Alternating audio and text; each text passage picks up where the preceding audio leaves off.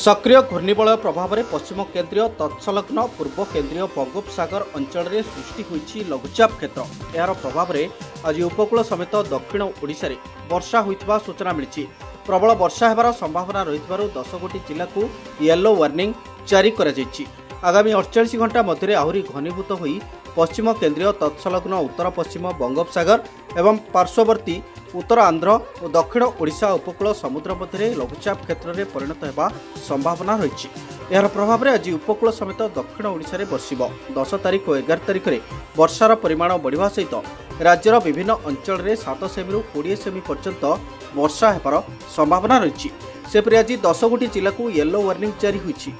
ଜିଲ୍ଲାଗୁଡ଼ିକ ହେଲା ମାଲକାନଗିରି କୋରାପୁଟ ନବରଙ୍ଗପୁର ରାୟଗଡ଼ା କଳାହାଣ୍ଡି କନ୍ଧମାଳ ଗଜପତି ଗଞ୍ଜାମ ଖୋର୍ଦ୍ଧା ଓ ପୁରୀ।